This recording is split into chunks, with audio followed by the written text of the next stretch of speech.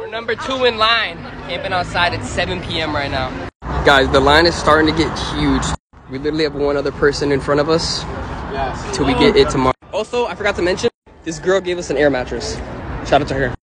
Finally won. Still in the same spot, but we blew up the air mattress. The sun's coming up. So I got a little bit of sleep, but not enough. Let me tell y'all, it is cold as balls out here. We're going to Starbucks now. It is uh 6:30. Premiere is still dead. Now the line goes all the way back there, and it's 8 in the morning. Now this man Kane is out, and Premiere is up. And the line is even longer. They also give us donuts. And look how long that line is. Jesus. The camera's not even picking it up.